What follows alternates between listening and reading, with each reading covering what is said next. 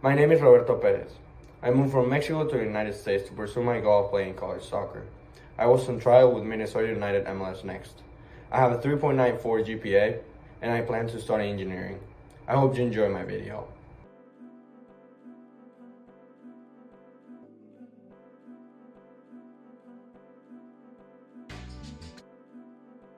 We are, we are fortunate to have somebody with uh, Roberto's ability in our team for sure.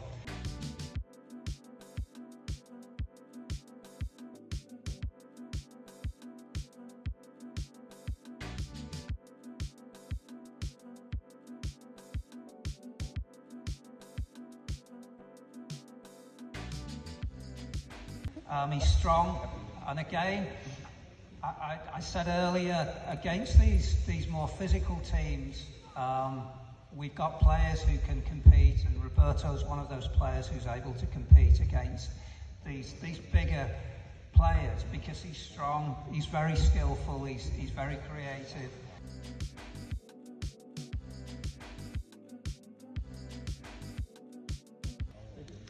He is the heart of the team.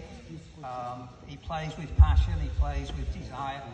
And, and probably more importantly, he's very humble as well.